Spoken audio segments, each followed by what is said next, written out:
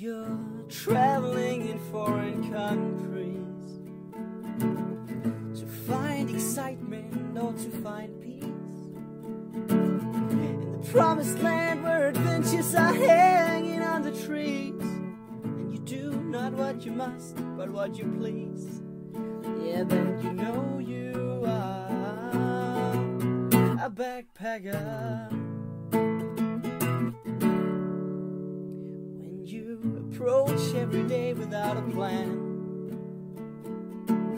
get most of your food straight from a can. Unless it's noodles, you hitchhike and get picked up by a strange and creepy man, and yet end up sleeping in his van. Yeah, then you know you are a backpacker on the road. Your heart beats a different rhythm. Oh,